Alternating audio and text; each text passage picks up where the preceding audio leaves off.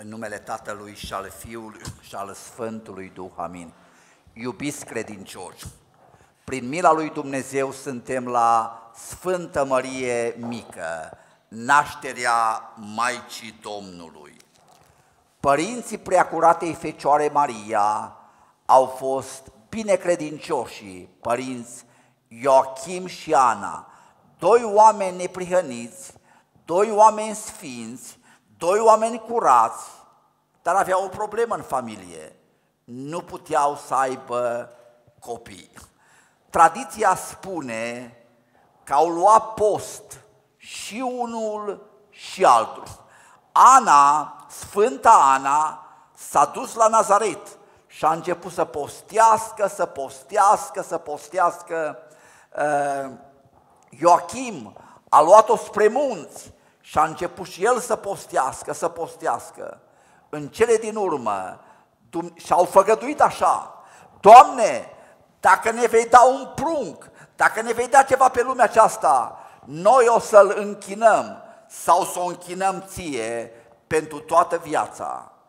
A venit pe lumea aceasta cea mai binecuvântată ființă, Maica Cerului, scara Cerului, preacurata Fecioara Maria, în urma multor, multor, multor rugăciuni. De aceea, în dimineața aceasta, cuvântul nostru scurt va fi cum să ne rugăm ca rugăciunea noastră să fie primită. În primul rând, ca rugăciunea să fie primită, roagă-te după voia lui Dumnezeu. Am auzit săptămâna aceasta pe internet de la Presistul Macarie, un episcop de-a nostru din afara țării, spunea următoarea întâmplare. La o mănăstire urca lume pe jos, dar între lumea aceea multă era o măicuță peste 80 de ani și urca și ea și urca. Un duhovnic a trecut cu mașina și a spus, măicuță, ești bătrână, urcă aici lângă mine. Și măicuța a spus, ascultă-mă, ți-i spune ceva că ești duhovnic. De obicei la mănăstire, la biserică trebuie să duci ceva. Îți prea săracă și n-am ce duce. Dar măicuță urcă lângă mine. Părinte, ascultă-mă până în capăt. N-am ce duce și vreau să mă duc pe mine însumi. Și vreau ca jerfa aceasta mersul meu pe jos, mă duc pe mine însumi, pentru că n-am ce da lui Dumnezeu și Dumnezeu să-mi primească și mie jertfa aceasta. Și mi-a rămas în minte expresia aceasta, mă dau pe mine însumi, că n-am ce să dau. Ascultă, dragă, cea mai bună rugăciune, cea mai primită rugăciune e ceea ce spunem noi la biserică, dar să se întâmple pe noi înșine, unii pe alții și toată viața noastră. Doamne ajută-ne lui Hristos, Dumnezeu să o dăm. Rugăciunea primită e rugăciunea care, în care ne dăm pe noi lui Dumnezeu și ascultați vă rog, cerem lucruri în acord cu voia lui Dumnezeu. Lumea spune, dă mașină, dăm, dăm, dăm, dăm. Întreabă-te în tot ce cere este spre slava lui Dumnezeu sau pentru poftele dumitale? Ca rugăciunea să fie primită, asigură-te că e spre slava lui Dumnezeu.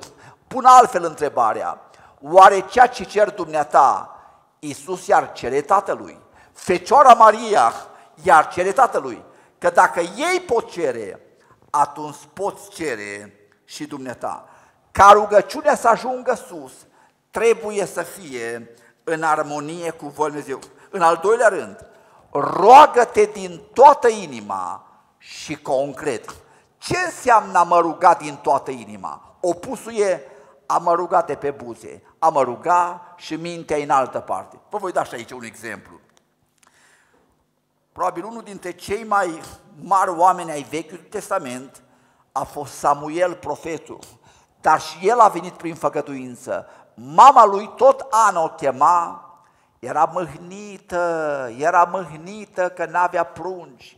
S-a dus la templu și undeva în capătul templului se ruga, se ruga și preotul Eli care tămâia a spus, femeie, până când ești biată și vorbești singur aici, du-te și trezește.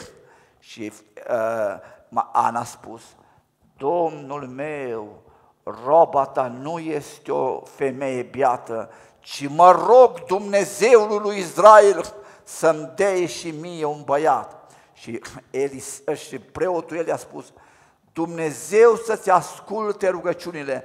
Anul viitor, pe vremea aceea, Ana era cu un prunc în brațe și el a fost numit Samuel.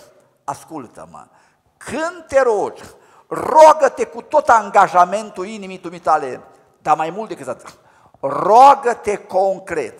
Doamne, am nevoie de asta, de asta, de asta, nu general. Când mergi la magazin și ceri, nu-i spui dăm tot magazinul, ci spune am nevoie de asta, de asta, de asta. Și vă mai spun ceva.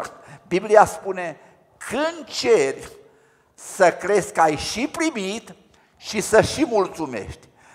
Când ai cerut, spune, Doamne, îți mulțumesc că mi-ai și dat, că dacă nu crezi că ai primit, chiar dacă se va arăta mai târziu, trebuie să știi că tu ai primit atunci și atunci vei căpăta pentru ce te-ai rugat. Și apoi rugăciunea trebuie să fie neîncetată. Rugați-vă necurmat. Vă dau încă două exemple, unul din Biblie, unul din viața practică din zilele noastre. Mântuitorul spunea că era o văduvă săracă undeva și un judecător de drept. Și în fiecare zi văduva aceasta mergea și spunea, judecătorule, fă dreptate. Ieșeam judecătorul undeva de la magazin și era după el. El și spunea, judecătorule, fă dreptate. Și nu se putea scăpa nici cum de văduvă. Și într-o zi judecătorul a spus așa, de Dumnezeu nu mă tem, de oameni nu mă rușinez, dar ca să nu mă tot necăjească văduva aceasta, am să-i fac dreptate. S-a oprit și a făcut dreptate. Și Iisus spune așa, oare dacă acest judecător nedrept a făcut dreptate, oare Dumnezeu nu va face El dreptate celor care se roagă zi și noapte? Ascultă-mă, rogă-te, rogă-te, rogă-te până primești am terminat facultatea cu cineva din Halmăr, Halmăr. De acolo a fost părintele decan de la Oradea, așa, și mătușa părintelui decan mi-a spus așa, ne-am mutat din Halmăr la Oradea, Megheșan era părintele decan, ne-am mutat la Oradea și cineva o luat meheiul soțului, soțul a avut mehei în bătaie de joc sau nu știm ce l-a luat. Și am început să mă rog și a spus femeie, m-am rugat un an de zile și niciun hei nu a venit. Dar și m-am rugat așa, Doamne, nu avem ce face cu el, dar măcar să-l pun așa bucăți pe lângă casă, dar să fie acolo.